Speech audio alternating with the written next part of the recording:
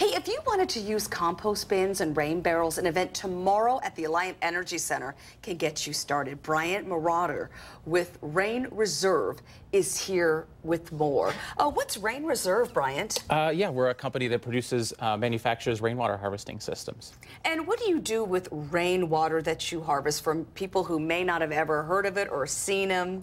Well, a lot of people I talk to, their grandparents did it, and it's a, a trend that's gotten back into fashion. Um, I think mostly because of the, the, the gardening boom again. And so uh, you collect the rainwater, uh, you store it for drier times, and then the plants really love it because it's that natural, untreated water. You know, I've seen it also in Middleton Hills. That's a composting bin right now that That's we're looking right. at. We're not talking about that quite yet, Yeah. but I've seen in Middleton Hills, people have really cool art on the sides of their homes, and that is funnels water for their. I mean, I, I just think it's so.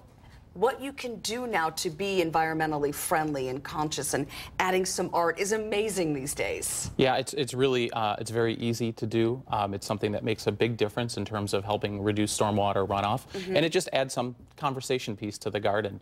Uh, our systems uh, come with diverters and come in three different colors. Uh, they're nice different kinds of shapes, so you can really fit them into places that if you don't want to see it, you can fit it behind a corner, underneath a deck. But if you do want to show it off as a piece of art, uh, you can do that as well too. Great idea. Let's talk about composting bins now. Uh, Yeah. This event tomorrow is going to be selling them as well. That's right. This is the 23rd year that this event has been happening at Good. the Alliant Energy Center. So we've had literally tens of thousands of people participate over the years. What's a composting bin? Where do you put it? Yep. So composting bin, um, usually uh, most people put it in the backyard, and it's a place to take uh, grass clippings, food scraps, um, leaves in the fall.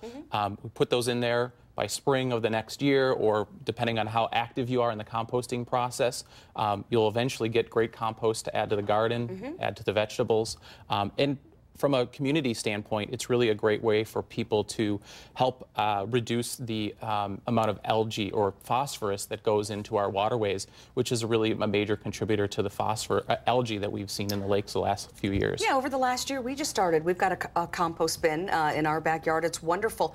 Now, tell me about the event tomorrow. Will there be people there to help you if you're curious about the, rainwater or composting bins? Yep, there'll be both kinds of folks there. Um, the event starts at 10 o'clock tomorrow morning, uh, goes to 2 o'clock. It's at the Alliant Energy Center. Um, you can actually go online still today uh, and pre-order. Um, and um, basically, we'll be there till supplies last. Um, years past, we've uh, come pretty close to running out, so we tell people to get there early if they can. That's great, Bryant. That's awesome. And by the way, it's free too. The event is free. The event is free. Uh, the rain barrels are $69.99. And, I'm sorry, the compost bins are $69.99. And the 50 gallon rain barrel starts at $119, but it also does include a diverter. Bryant Moroder, thank you so much. We appreciate your time and good luck tomorrow.